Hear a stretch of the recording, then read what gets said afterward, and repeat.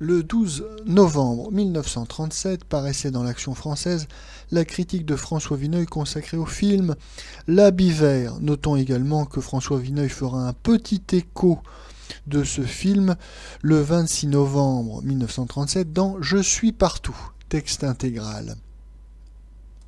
Monsieur Victor Boucher se déplume un peu. Madame Elvire Popesco est toujours aussi vivante et gaie, mais une maturité épanouie et majestueuse remplace maintenant chez elle la pétulance de la jeunesse.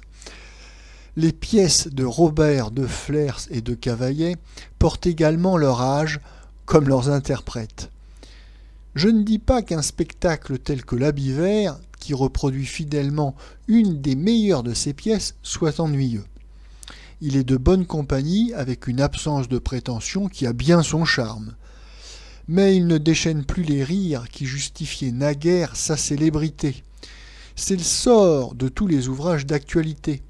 Ce répertoire, qui a eu son sel et sa fraîcheur, est aujourd'hui détrôné, au cinéma du moins, par la comédie américaine. Il est certain que dans 15 ou 20 ans, des films comme My Man, Godfrey, voire comme vie facile, auront beaucoup de rides. Ils appartiennent à un genre ni plus ni moins profond que le théâtre de l'aimable de Flair. Mais ils ont pour eux, en 1937, une alacrité, une rapidité qui conviennent mieux à la cadence de notre vie. Leurs traits de satire nous apparaissent plus mordants.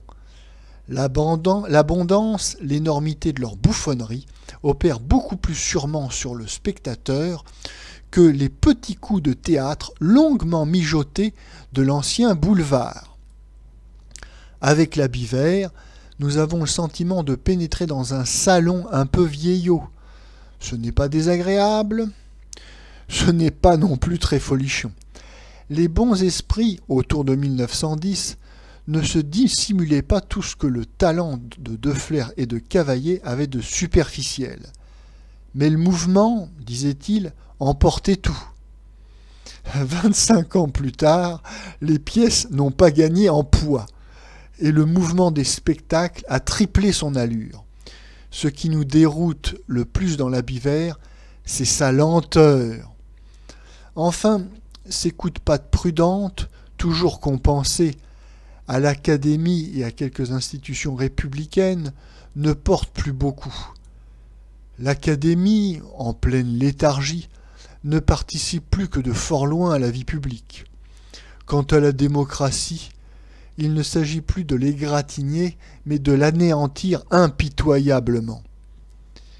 La distribution de ce film est beaucoup plus homogène que celle du roi, déparé par l'odieux monsieur Francène. Il y a une identité étroite entre les acteurs et le texte. Monsieur Victor Boucher domine, avec toute la finesse qu'il met dans la représentation de la nullité élégante. Madame Popesco, Monsieur Lefort, Monsieur Larquet, Monsieur Palot sont excellents et amusants. Les académiciens fort possibles et Monsieur Jules Berry un peu agaçant cette fois. Monsieur Taride aussi falot et empêtré que n'importe quel président de la République.